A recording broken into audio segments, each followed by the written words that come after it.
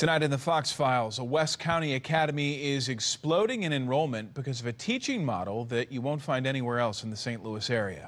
Investigator Chris Hayes takes us behind the scenes to this school that teaches those who may be struggling the most. The Academy of St. Louis here in Chesterfield is a unique school, kindergarten through graduation. It's in person and it specializes in students with learning challenges.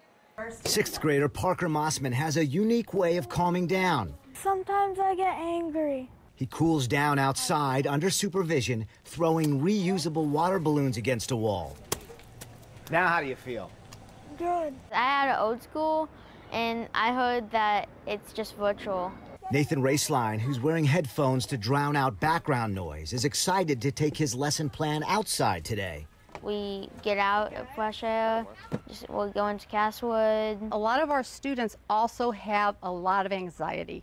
And to sit in a classroom all day is just not healthy for them. Executive Director Terry O'Daniel co-founded the Academy of St. Louis 17 years ago. She wanted something better for students with disabilities. Our transition program is very personalized. Once a student starts high school, we start working with them in a very, very organized, precise manner. Uh, and we ask them, what would you like to do when you graduate? I'm hoping to become either a, a firefighter paramedic or 911 dispatcher. JT Stark is in the transition program. It's helping me, I know, get to my point where I'm starting my EMT actually at the school and I'll finish it in college and everything. So they're they're helping me get one step ahead.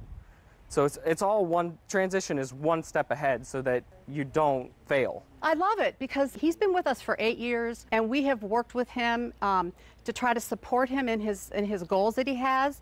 He's following in his father's footsteps, actually. Small class sizes of six to eight students in each class, the Academy has doubled in size since last year. I opened up another classroom. She wants to keep up with demand to give students with disabilities their best chance. These kids have potential.